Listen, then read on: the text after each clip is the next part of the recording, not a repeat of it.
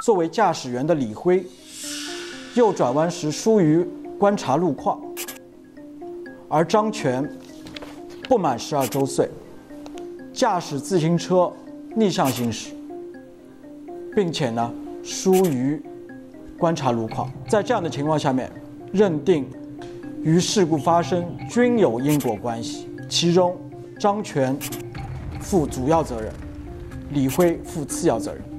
这对徐女士来讲，这是一个灭顶之灾。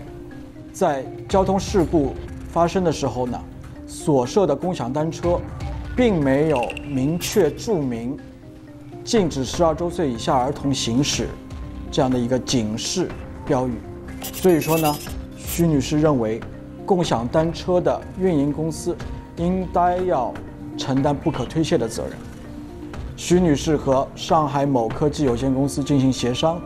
啊，因为要求承担的金额过大，啊，没有能为就此啊达成一致，所以说呢，一次涉诉。